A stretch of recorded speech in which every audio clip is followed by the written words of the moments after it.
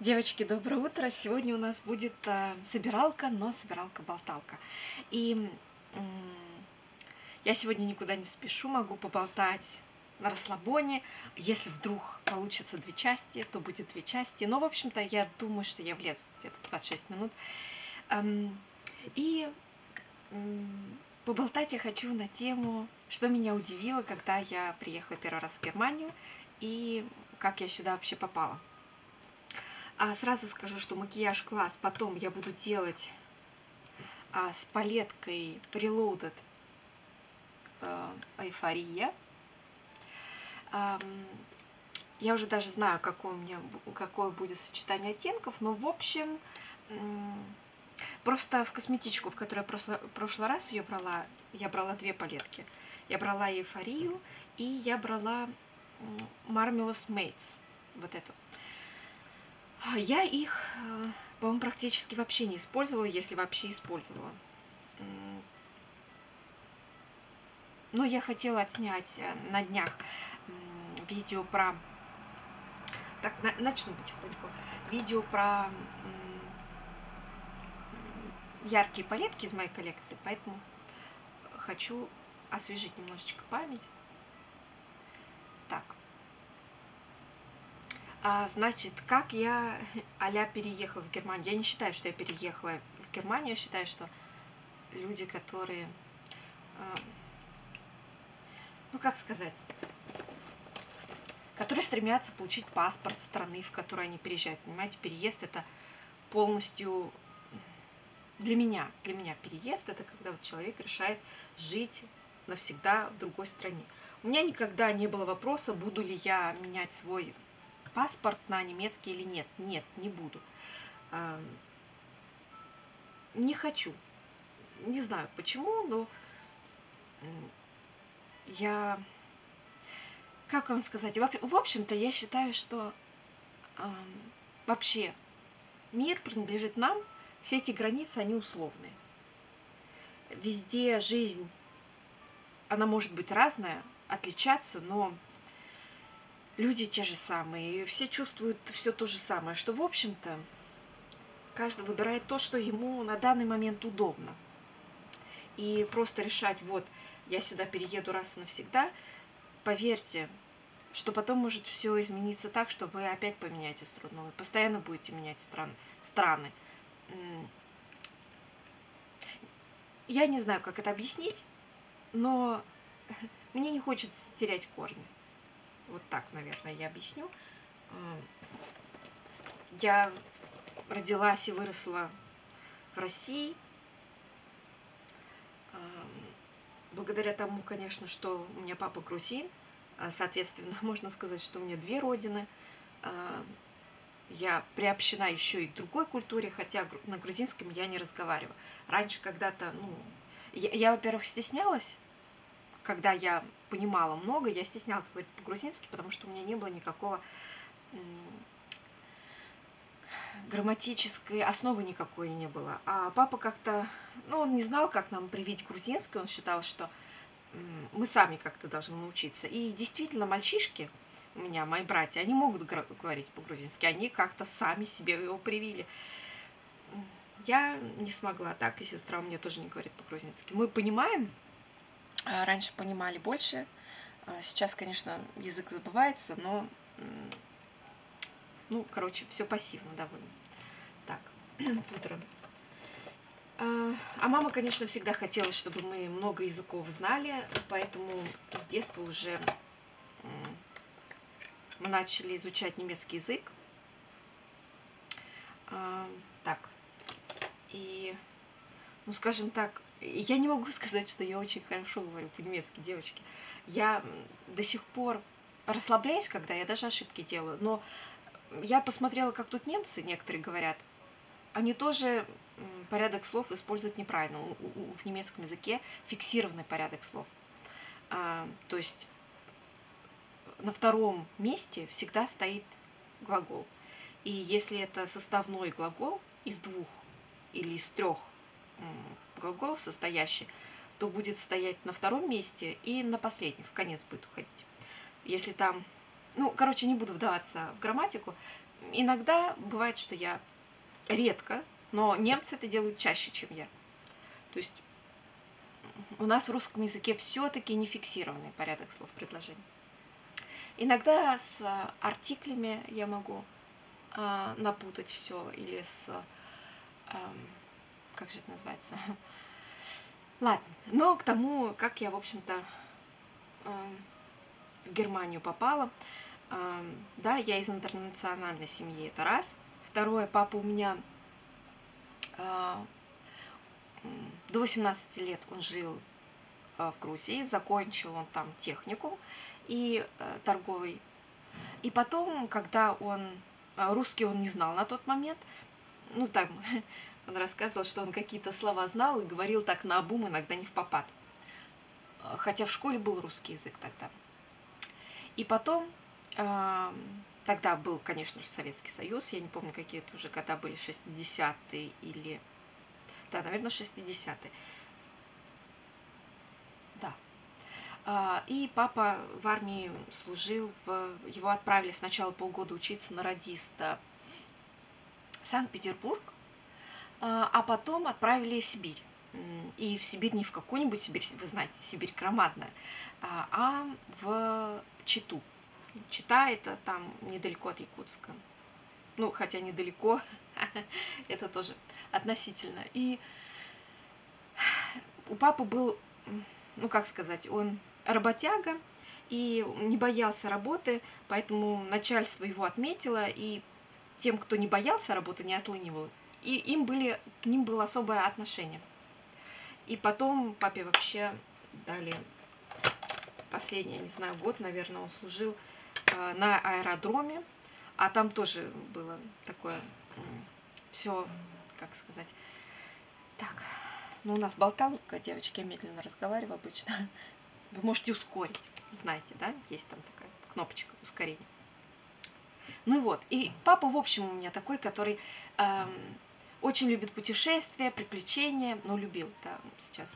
Ну, буду говорить настоящим. И, и он всегда много рассказывал. Потом он остался в России, а, начал учиться в России. Учился он очень долго. Он сначала учился в торговом институте, но на пятом курсе, когда уже последний экзамен был, один препод к нему придрался, он хотел, чтобы папа не на тройку, не на, четвер... не на четверку сдал, а на пятерку. А, папа не мог, потому что ну, тяжело было, это какой-то там предмет ему тяжело давался, и подкупить препода он тоже не смог, поэтому он психанул и бросил.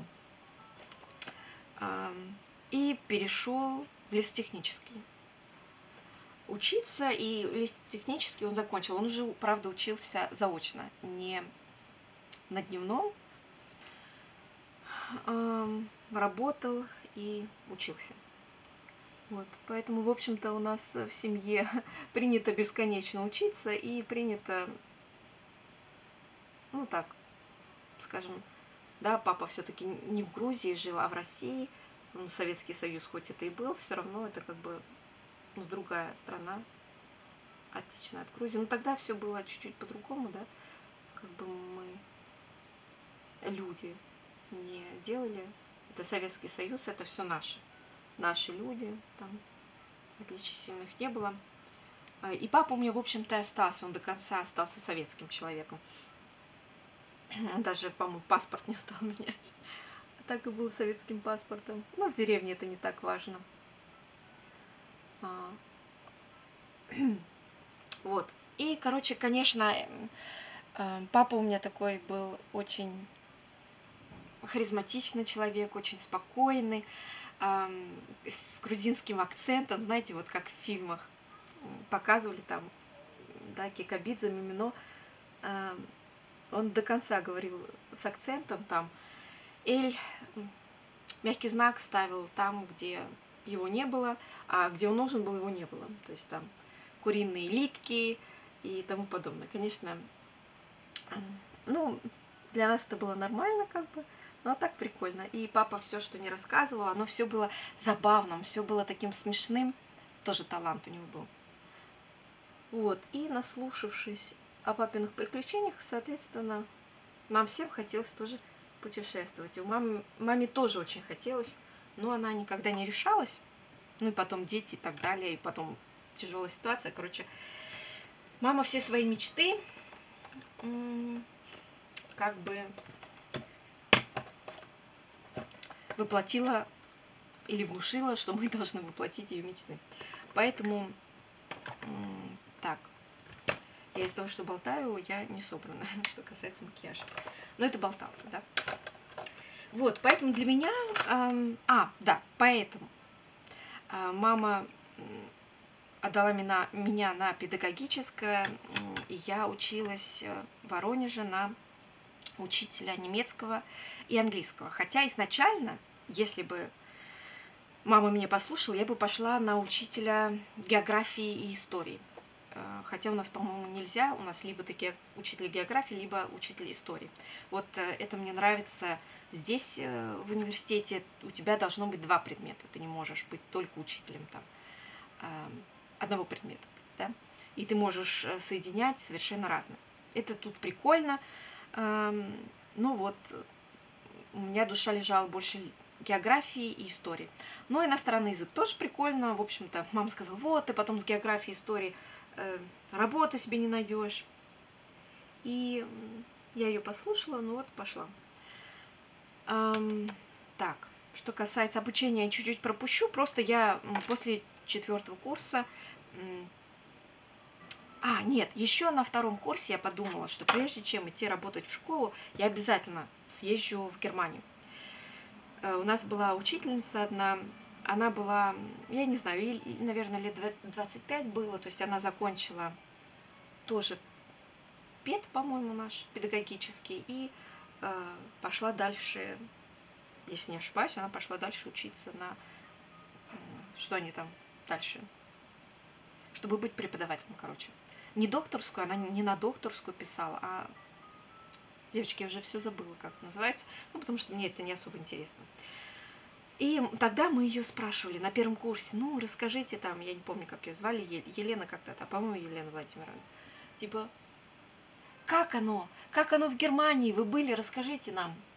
И она говорит, ну, я в Германии еще не была. То есть, вы представляете, да, на пять лет проучилась, э, в педагогическом, потом начала преподавать.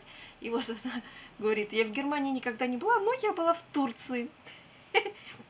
Я тогда внутренне как бы посмеялись, мы воспитанные, но внутренне мне было так забавно. Человек преподает язык, хотя никогда не был в стране, в стране, на котором, в стране, в которой говорят на этом языке. И я для себя тогда решила, что я не пойду работать в школу, не побывав в Германии. То есть для меня это было очень важно. И после четвертого курса э, я поехала в лагерь, в детский лагерь. Э, под Дрезденом он был. Я хотела еще, чтобы, хотя у меня больших комплексов не было э, в разговоре, девочки, как же мне тяжело, как же мне тяжело говорить, я некоторые слова не могу вспомнить. Так, и да, я хотела вот еще, чтобы у меня навыки, разговорные навыки, они улучшились. Если какие-то у меня барьеры еще были, то чтобы их не было, э, чтобы они исчезли, проработать их. Э, это было хорошее решение. Я поняла мои слабые стороны, что я знаю такой язык а-ля литературный, но я не знаю, как люди разговаривают в жизни – и как, когда я там побыла, то я немножечко подсмеялась над нашими преподавателями, потому что они говорили, о, немцы так не разговаривают, по-немецки так не говорят, а оказывается, в жизни так говорят, так разговаривают. Это было для меня как бальзам на душу. Я поняла, окей, окей, хорошо. Вам нужно было побольше путешествовать. Ну, я как бы, как сказать, я в советское время это было не так просто, потом в 90-е не было такой возможности у людей, а потом это уже тоже, наверное, сложно, потому что другие приоритеты в жизни. То есть я понимаю, почему люди так, ну, старшего поколения не путешествовали так в Европе. в Европе, по Европе и так далее. Сейчас, конечно, никого не удивишь. Ну, по крайней мере, люди вообще путешествуют.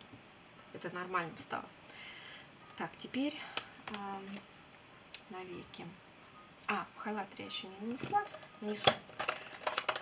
Возьму из страты, девочки. Все из косметички. Я думала, что не будет у меня собиралки, но думаю, нет, все-таки будет. Еще в этом месяце одна собиралка. Девочки, про а, тенюхи, которые я заказала.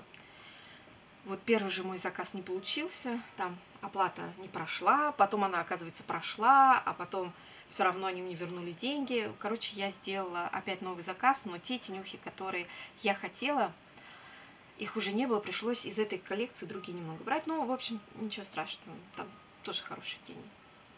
Так что уже в сентябре будет собиралка с этими тенюшками. Я возьму эти тени, скорее всего, в косметичку сентября, и вот собиралка будет уже там. Возможно, я темный еще нанесу хайлайтер. Как-то этот розовый все-таки уже светловатый. Так, дальше. Без большого плана как-то тяжело. Надо чуть-чуть ускоряться. Я, наверное, слишком медленно разговариваю. Тут точно. Макияж будет быстрый, а разговор будет долгий. Так, и значит я поехала под Дрезден в детский лагерь на три недели. Там у нас было волонтеры, молодежи было, ну, молодежи и э, было два. Короче, этот лагерь был с детьми, но их родители тоже там были. Было очень классно, погода была дурацкая, и очень много шло дождей. Кстати, это был тот год, какой это был год, господи, по-моему, лето 2007 года. Да, лето 2007 года. Как раз тогда именно эту часть Германии очень сильно затапливало, что они делали ремонт дорог. Ехала я на автобусе, потому что это было дешевле всего. И приехали мы на вокзал.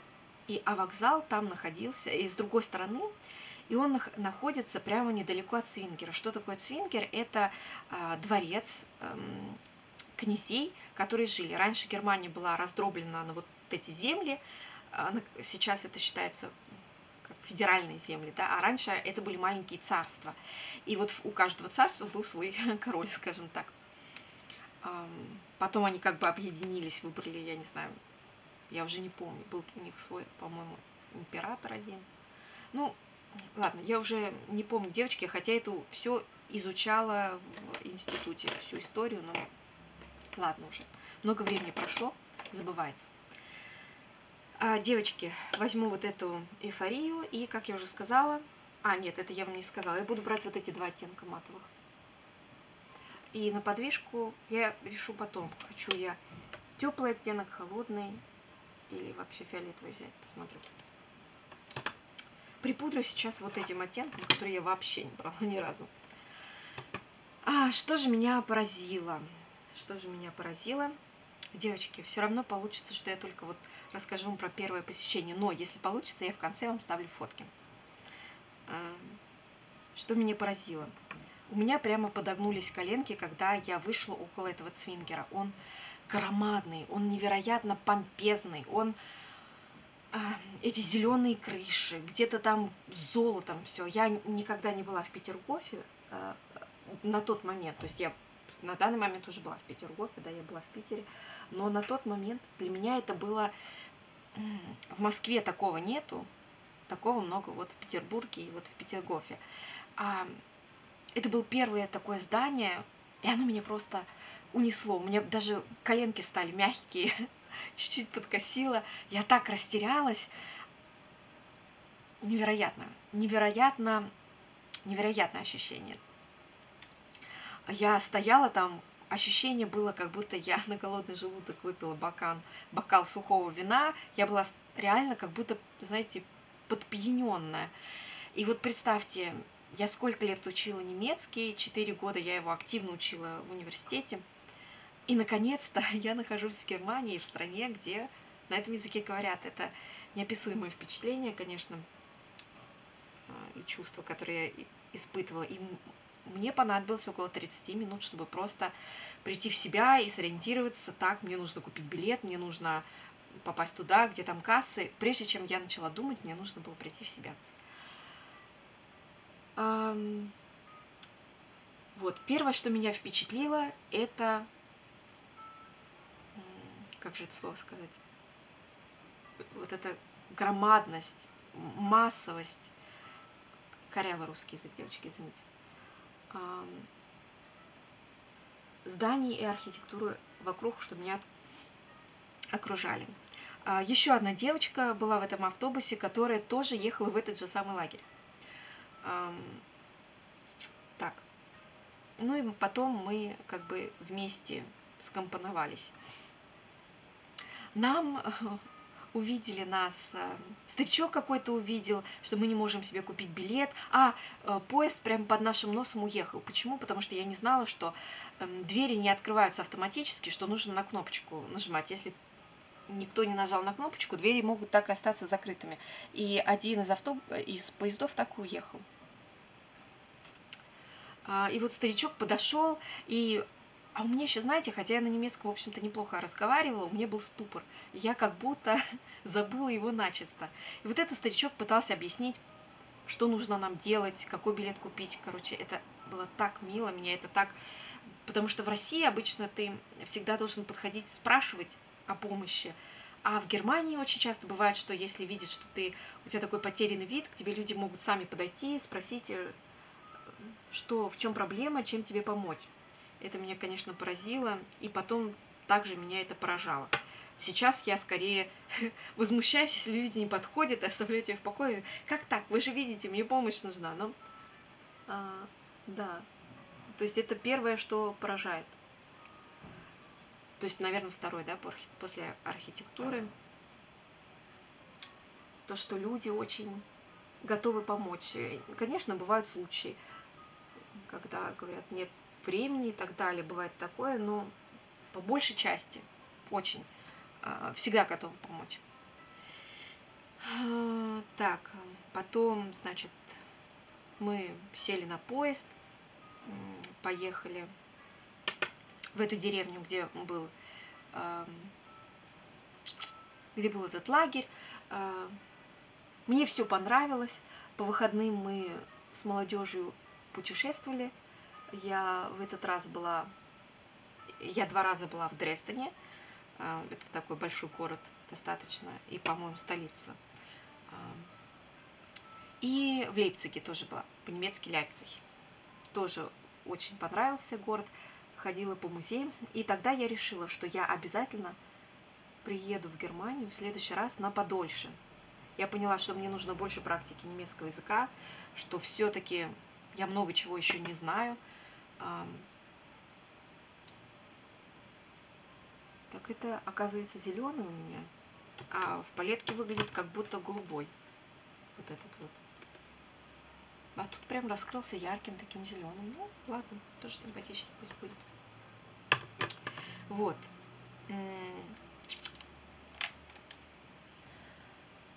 23 минуты.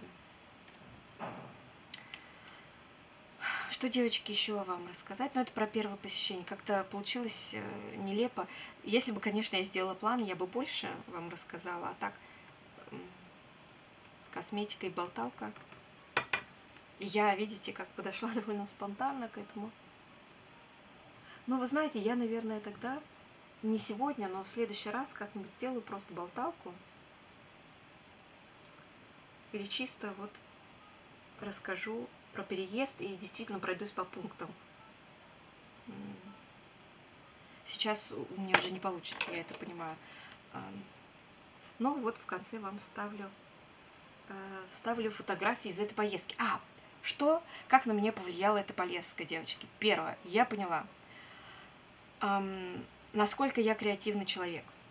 То есть раньше я тоже подозревала это, но тут я поняла, что Германия это то место, где я смогу раскрыться креативно. А, потому что дома меня постоянно критиковали, самые большие критики, это, конечно, мама и моя старшая сестра, и я их, ну, я не то, что к ним прислушивалась, я их слушалась, и они не то, что э, так знаете, некоторые родители или родные говорят просто свое мнение. Нет, они давили на меня своим мнением, и я не могла принять другое решение, чем их, то, как они вот решили, что я должна делать. Я поняла, что мне нужно в Германию просто для того, чтобы начать жить и думать самой. А, а если я всегда дома хотела как-то по-другому поступить, то получала так, довольно агрессивную критику в свой адрес. Поэтому вот, это то, что я решила, и я приехала, я поняла, что я могу одеваться, как у меня вот в голове идеи есть.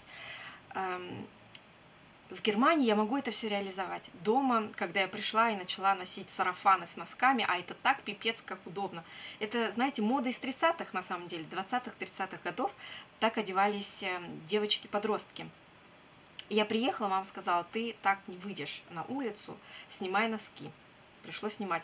А вот я реально тогда, мне нравилось носить эм, балетки. Тогда только входили в моду балетки. Балетки с носками под э, юбки и сарафаны, и с штаны. То есть штаны, балетки. Любой человек скажет, э, что это ну, нелепо смотрится, так не ходят. А мне нравилось. И я поняла, что все, мне нужно в Германию, а, чтобы попробовать себя взрослым человеком. А, так, на подвижку я, скорее всего, нанесу теплый оттенок, вот этот вот, нанесу на все подвижное веко. И на этом, девочки, макияж закончится, потому что, в общем-то, иначе, ну, я думала, что будет вот так на 30 минут, если начну что-то рассказывать, а плана точно у меня нету. Вот это было мое первое посещение Германии, мои выводы, которые я сделала. Я была просто в восторге и просто в восторге от всего. Да.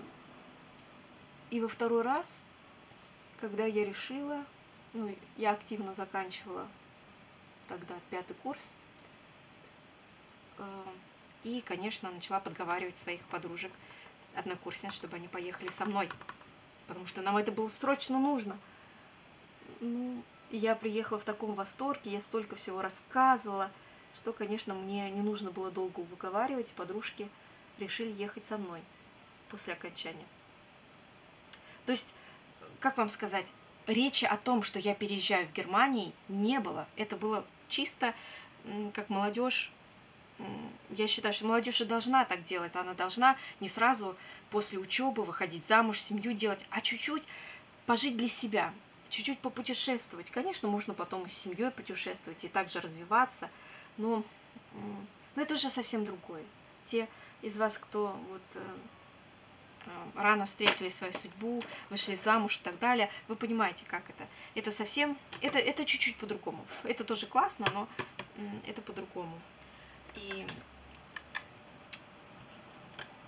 и да, э, это было классное времечко. Ну вот о втором моем приезде в Германию я вам потом в какой-нибудь другой собиралке расскажу. Или вот сделаю чисто такую болталку и вам по плану все подробненько расскажу. Ну, просто в собиралке, мне кажется, так уютнее.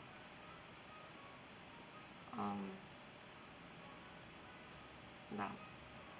И я вас задерживать больше, девочки, не буду. Почему? Потому что вот это видео, которое я сейчас буду монтировать, чтобы фотографии вставить, будет монтироваться 18 часов как минимум. Я, наверное, это, этим займусь завтра.